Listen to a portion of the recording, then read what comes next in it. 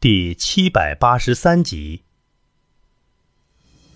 五十位青年天骄联手，这都才登上去。这个来自昆仑虚的人独自一人就攀登上去了。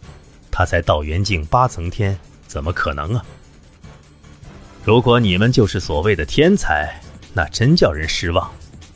叶辰没有理会他们，也没有将他们打落下去，只是平淡无奇，一步步往上走。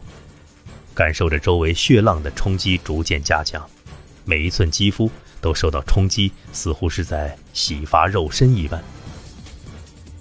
下一刻，他陡然一拳轰出，将往上的第八阶和第九阶的万魔梯上的气血轰散开，而后平淡无奇地走了上去，就仿佛真的只是在爬楼梯一样。第九阶上是黑甲，愕然地看着这一切。他下意识看了看自己闪烁金光的肉身，正在被血浪不断腐蚀，诧异道：“这是道元境八层天，有这么强大的道元境八层天吗？肉身比我们都要强大的多。”黑甲孤身一人走出众人的力量范围之外，迅速被血浪轰成重伤，跌落了下去。爬起来时，心中的震惊犹如翻江倒海一般。这种血浪的威压相当于入神境一层天的力量，更甚者，寻常入神境二层天都不见得能挡住这股力量啊！他一个道元境八层天，居然挡得住，不仅挡得住，还一点伤都没有。不仅黑甲第七阶段的几十位青年都一脸茫然地凝望着第七阶的叶辰，这不是道元境八层天，这至少帝尊境七层天啊！不能，怎么可能做到这一切？这个来自昆仑虚的人肯定是某个老怪物附生，要么就是某个老怪物刻意压低的修为，不然怎么可能这样？第十七阶上的白衣青年昆武半跪下来，浑身上下尽是伤痕，金身皲裂，鲜血流淌一地。他正一边抵挡血浪威压，一边休养的时候。愕然看见了走上来的叶晨，还以为自己眼花了，摇了摇头，却是看见对方毫发未伤，不由得问道：“你、你、你是谁？”“我是叶晨。”叶晨回答一声，轻轻迈动一步，跨越上百米，登上了第十七阶，随手一拳打爆袭来的血浪威压，凝视着昆武道：“你的肉身不行，再闯下去必死。”必死！我作为星剑门真传弟子，再继续往上闯会死。昆武不禁诧异的问道：“你是刚才那个道元境八层天的人，来自昆仑虚的人？我叫叶晨，来自昆仑虚。”叶晨没有多理会他，往上一步，继续来到第十阶。很快，数十秒钟过去，叶晨已经攀登上了第二十九阶。周围的气血威压也越来越强，隐隐抵达了更强境界的力量，便是寻常入神境一二层天的武者上来，都要吃不小的苦头。可叶晨却浑然无事。第十九阶段的昆吾已经难以接受这个局面了。我帝尊境六层天，金色霸体三阶，居然还抵不过昆仑虚一个道元境八层天的人，我有这么弱？还是昆仑虚的人都太逆天了呢？我还不相信你道元境八层天能上二十九阶，我还上不去吗？我星剑门的弟子怎么可能不比你们昆仑虚的人强？血脉秘术！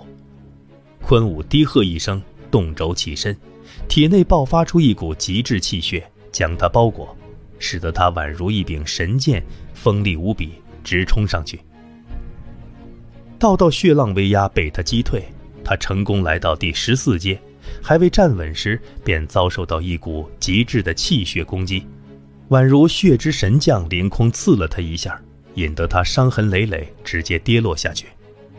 二十阶、十九阶、十八阶、三阶、二阶、一阶，昆武直接跌落到了万魔梯之外。伤痕累累的身躯，刺目耀眼，一脸愕然地看向已经攀登到第三十界的叶辰，不由得震惊。此人到底是谁？怎么会这么强大？我居然不如他！我可是帝尊境六层天呐，他才是道元境八层天，只是差距八个小境界而已。我和他相比，有这么差吗？他能做到的，我为什么做不到？坤武，坤武师兄，快服下丹药，恢复肉身。好几个星剑门的弟子赶来，其中一人取出一枚神级丹药，递给了坤武。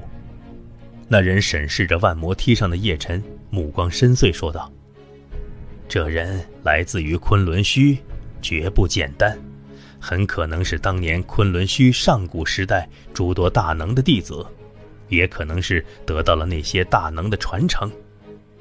你不要与他去争，他的肉身和气血之力强过你十倍。”此话一出，所有的目光都凝视着这位半步入神境的弟子。在看待叶辰时，心中鄙夷和不屑都化作了震惊。试问，谁能在道元境比肩入神境？上古时代、远古时代恐怕都没有吧？叶辰此人绝不能去比，还是赶往灵城禀报师门。昆仑虚出了个绝代天骄，要多加小心。灵城虽然属于昆仑虚，但是因为有空间传送阵的原因。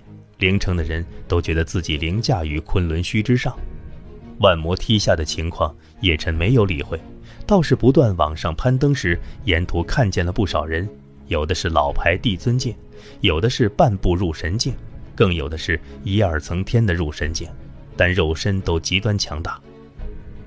像是第三十七阶上的那个老头，半步入神境，肉身却是霸体期四阶。周身环绕着极强的杀气，绝对是老牌强者。周遭传来道道声音，叶辰迅速闪开，地面上出现一团红色腐蚀性液体，便是坚固的万魔梯，都出现了一个小坑洞。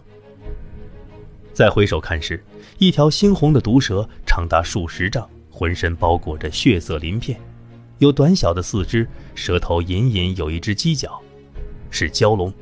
一条修炼了两千年以上的蛟龙，还带着剧毒毒液，看气息似乎是帝尊境八层天。如此猩红蛟龙，按理说已经是半龙，却还保存着旧时的毒液。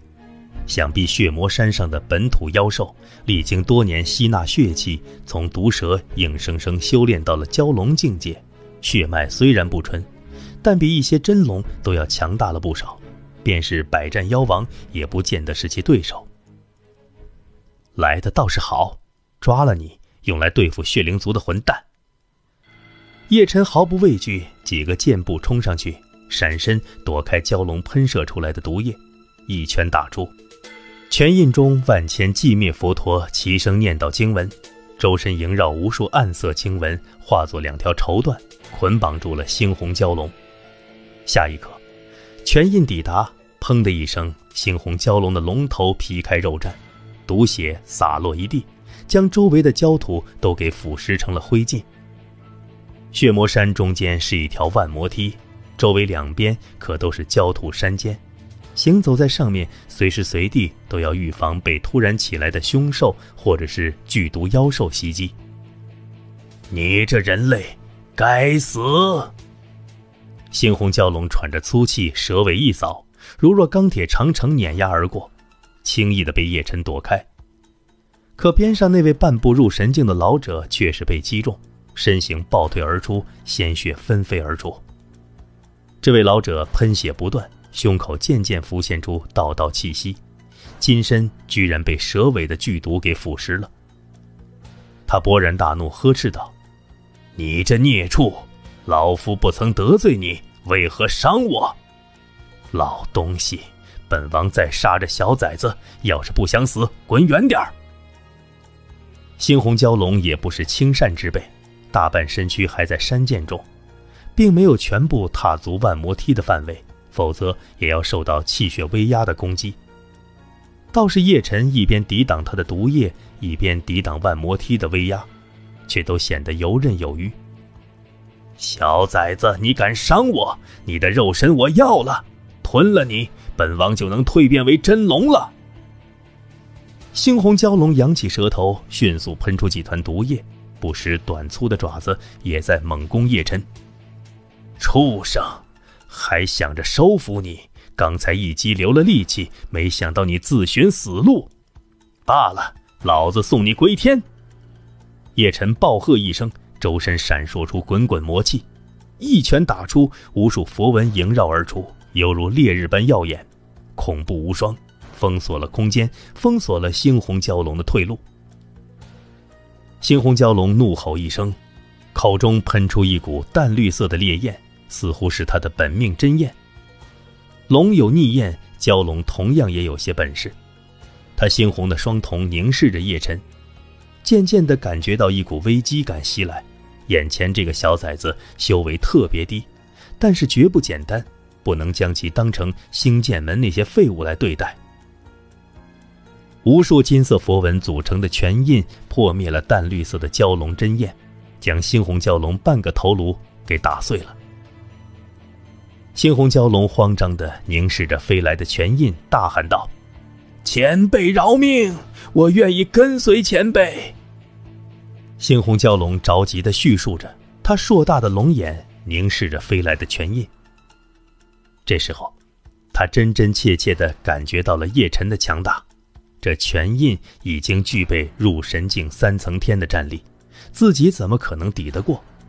再者，叶辰才是道元境八层天，若是能跟随，不失为是一种机缘呢。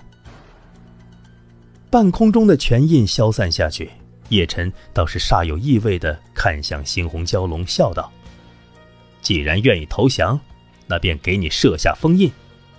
愿意臣服。”猩红蛟龙低下头去，乖乖地趴在地上，一身血红色的鳞片和四肢像极了四脚蛇，只能说是不完全版的真龙，血脉不强，但是战力倒是不差，帝尊境八层天可媲美入神境二层天。